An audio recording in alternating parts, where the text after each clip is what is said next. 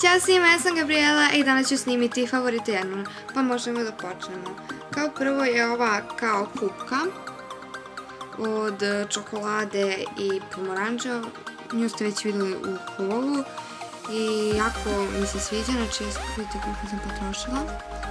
I sviđa mi se miris i stvarno mi se jako sviđa i opet ću da kupim. Sljedeće je ovo od Palmoliva, e, Chocolate Passion. E, on isto lepo miriš, znači...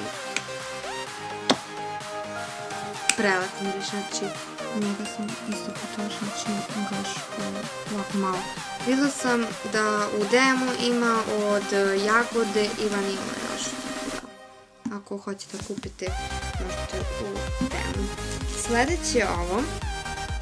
A ovo labelo koje ste isto vidjeli u ovom holu da sam njega skroz, skroz potrošila, znači opet ću ga znači em što lepo miriše, em što je, znači, da, znači meni se jako sviđa. Uh, sljedeće je ovo, ova svijeća koju sam isto potrošila, znači bukvalno za 3 dana, zato što sam je, cijel dan mi je bila bukvalno upaljena, zato što je jako lepo miriše, znači na vanilu i znači jako sam zadovoljna svijećom.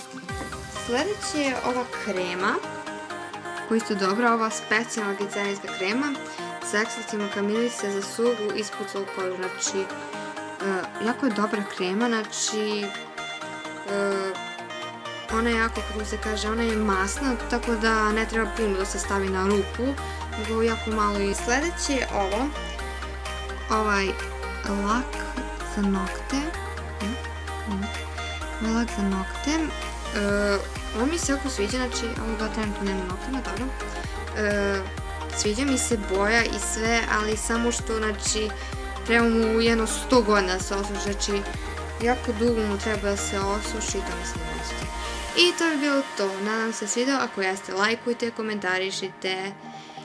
Ćao!